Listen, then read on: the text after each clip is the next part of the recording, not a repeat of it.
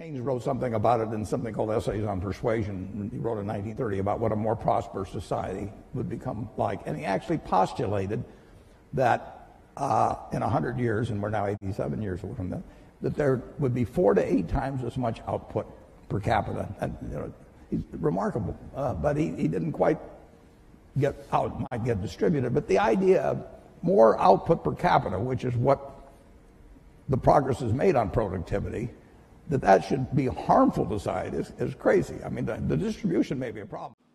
Keynes wrote about this in 1936, I think it was, in the General Theory, or 35, I think it's chapter 12. It's best, it's great chapter on investing. And he talked about investment and speculation and the propensity of people to speculate and the dangers of it, and worded eloquently. There's always the possibility of I mean, there's always some speculation, obviously, and there's always some value investors and all of that sort of thing in the market. But there's when speculation gets rampant and when you're getting what I guess Charlie would call social proof uh, that it's worked recently, people can get very excited about speculating in markets. And we will have it from time to time in this market.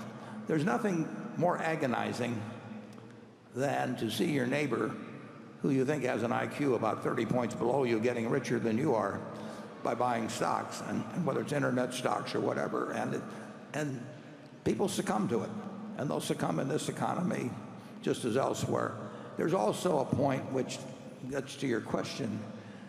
I would say that early on in the development of markets, uh, there's probably a a there's some tendency for them, I think, to be more speculative than markets that have been around for a couple of hundred years.